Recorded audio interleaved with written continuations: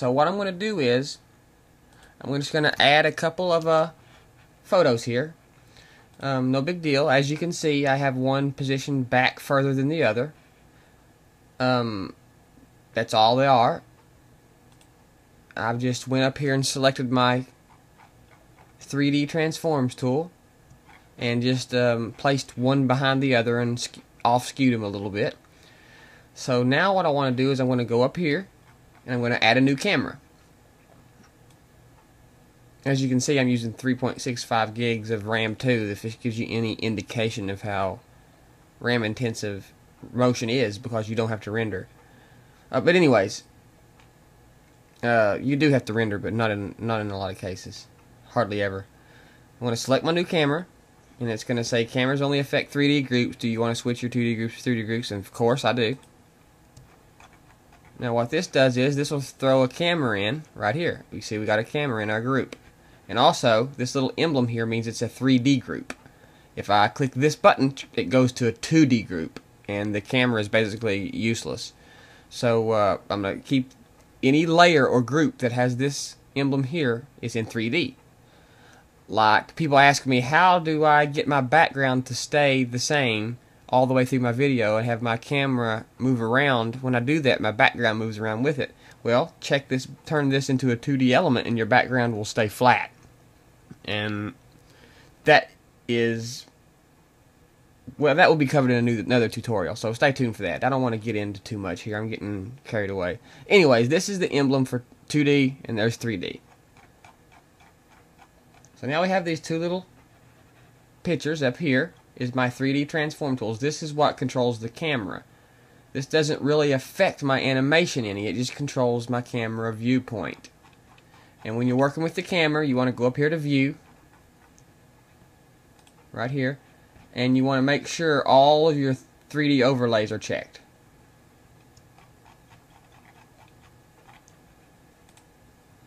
And like I said, these 3D transform tools, the middle one rotates, the left one moves, and the right one is forward and back.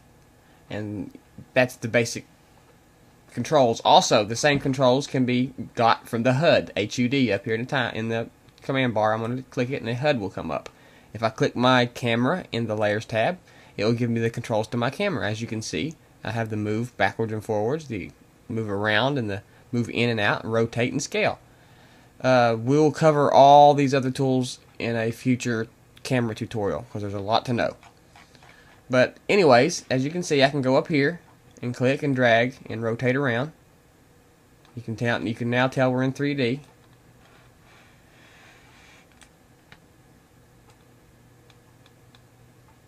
And uh, also, you can use these tools over here in the HUD to do the same thing.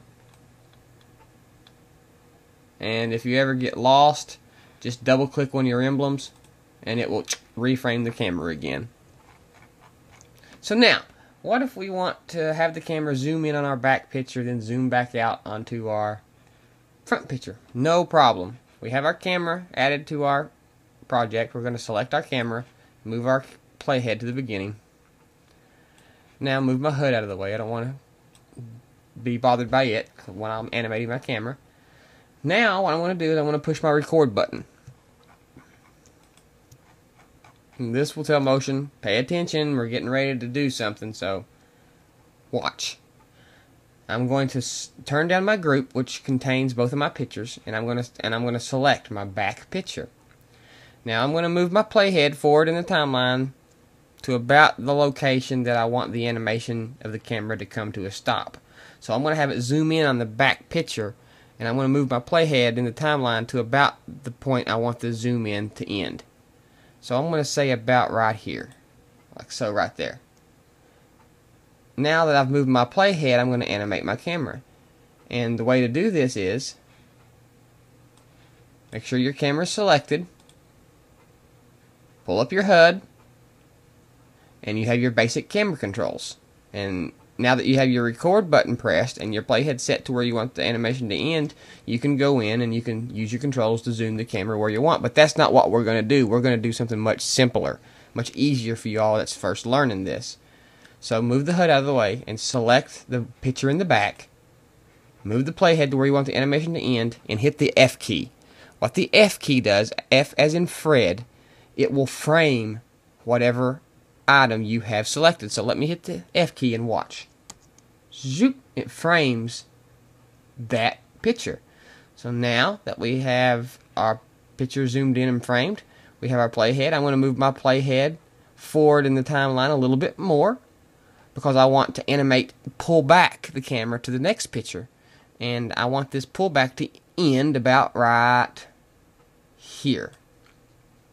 So now what I'm going to do, now that I got my playhead set up further, I'm going to select my first picture over here in the timeline. The one that's got selected now is the one we just framed. I'm going to select this one hit the F key again and watch what happens. It frames that picture. So remember the F key is a very, very important key. It frames whatever object you have selected. Um, now you can go to your active camera view and look at it from the top just to see what everything looks like. As you can see, there's, there's a picture and here's a picture. Control A goes back to your active camera view. Now we can turn off our animation. And when we play it back, let's see what happens. We zoom there, and we come straight back to there. And it's that simple. It just hitting the F key a couple times. Um, let's see what else we can do here. What if, um, what if you wanted to zoom in on that one, and instead of zooming directly back out, you want it to stay focused on this picture for a minute, and then zoom back out? Well, I'll show you how to do that. Move your playhead to the beginning, turn on your record, move your playhead up to the point you want the animation zoom to end, how long you want the animation to take. I want to move my playhead to about right here. I'm going to select my picture, hit the F key like before to frame it. Zoop, it'll bring me in.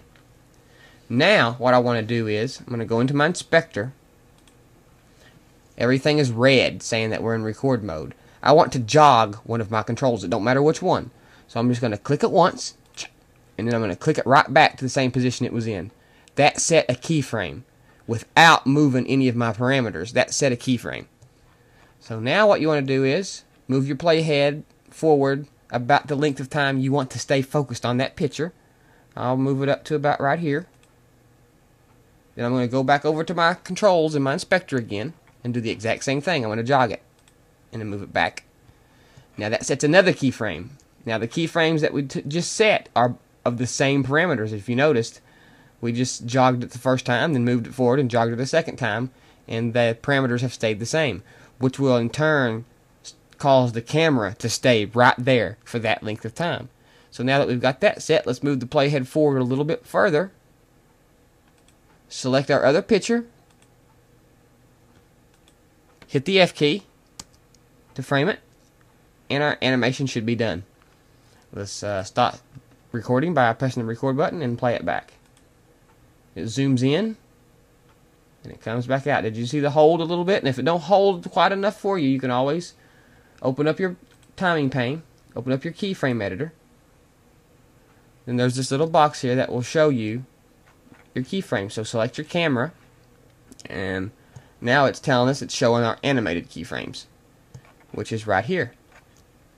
Now you see when I move this playhead, you can see the curve here matches the animation of our picture. So as you can see, when it comes in, right there, it starts zooming back out. So I want to add another keyframe. So what I want to do is put my playhead about right here, I guess. About where the whole screen is taken up, just a few frames ahead of where it was. I'm going to go over to this little keyframe menu I'm going to hold the Option key and I'm going to click and I'm going to set a keyframe for all three of them. Now if you notice this put a keyframe right there. Now what I'm going to do is I'm going to take my keyframe I'm going to drag it out like this.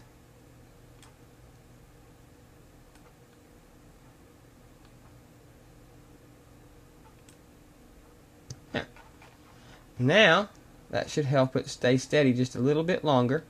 as you can see it stays and it zooms back out. Now it's not perfect. I haven't really what you call adjusted it too well. I'm just trying to do this really fast. You can right click on a keyframe and it will bring up an interpolation menu which will let you choose constant, linear, continuous. And if you choose constant, it will cause the line between the keyframes to straighten out. So I'm going to select this one again, interpolation, constant, and you can see that straightened out. Now, when I play back the animation, you can see the frame holds itself before it flies back out. So let me play it from the beginning. Let's close my timing, close my project. Let's have this fit to window. And when I play it back, zooms in, holds, zooms back out.